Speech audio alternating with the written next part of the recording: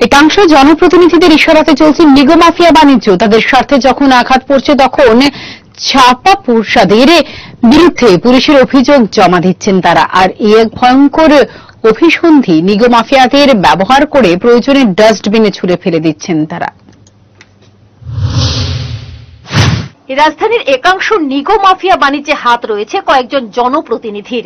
অভিযোগ এমনটাই, জমির তালানি নির্মাণ কাজ থেকে তোলা আদায়, ভয়ভীতি প্রদর্শন করে সাধারণ মানুষের জমি হাতিয়ে নেওয়া, সরকারি অফিস থেকে তোলা আদায়, সরকারি বেসরকারি প্রকল্পগুলির মধ্য থেকে কমিশন আদায়, সব ধরনের কাজকর্ম থেকে টাকা আদায়, মাদক কারবারি, মদ বিক্রির কারবার থেকে মোটা অঙ্কের টাকা আদায়, এই সবকিছুই চলছে জনপ্রতিনিধিদের অঙ্গুলি হেলনে বলে রয়েছে অভিযোগ।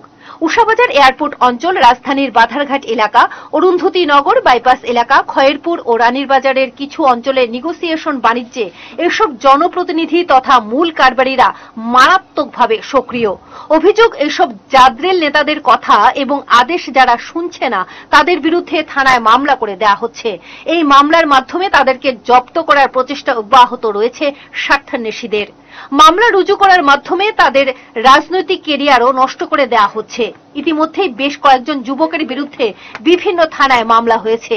তোলা আদায়ের রাজনীতিতে নিগোসিয়েশনের প্ল্যাটফর্মে যাদের সঙ্গে জনপ্রতিনিধিদের মন কষাকষি কিংবা দর কষাকষি হয়েছে, তাদেরকেই প্রভাবশালী নেতৃত্বদের ইচ্ছায় শ্রীঘরে যেতে হয়েছে।